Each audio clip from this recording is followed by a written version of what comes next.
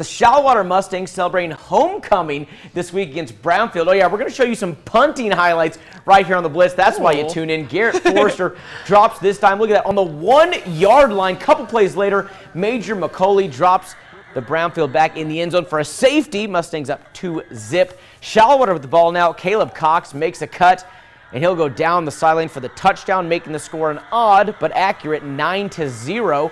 Now Keegan Campbell gained the ball in the end zone.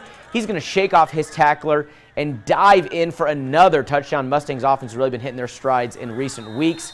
Mustangs, they go on to win this one, I'd say pretty convincingly over the Cubs of Brownfield, 40 to nothing, your final.